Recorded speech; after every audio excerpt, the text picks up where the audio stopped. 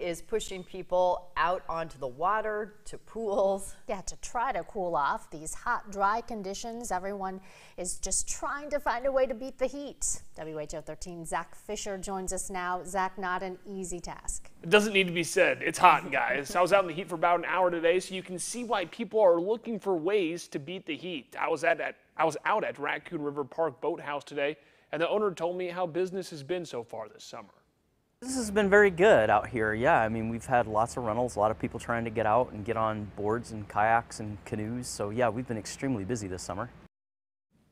Holmes estimated about 50 to 60 people renting kayaks or paddle boards during the week, topping 100 on a single day over the weekend. Raccoon River Park Boathouse rents their equipment out for people to enjoy water recreation on the lake. An experienced kayaker tells me that she prefers lakes over rivers when cooling off. Yeah, I like the big lakes. It's just lots of fun to see the different, um, you know, wildlife and um, landscape and so off the, the lake. So, yeah, not much of a river person. Hoxenbergen says that she's actually kayaked down the Mississippi River before and talked about how low river levels watching what's on the shoreline and boats. That's just a couple things to worry about while out on a river. But whatever water source you, you prefer, if you're looking to have fun, it looks like a great way to uh, cool off and avoid the heat today. On a day like this, you bet. Thanks a lot, Zac.